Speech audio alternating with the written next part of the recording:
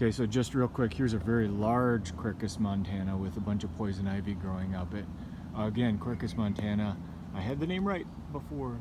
That is chestnut oak, and if you, if I look and hold this very steady, which I'm not very good at, we look very high up there.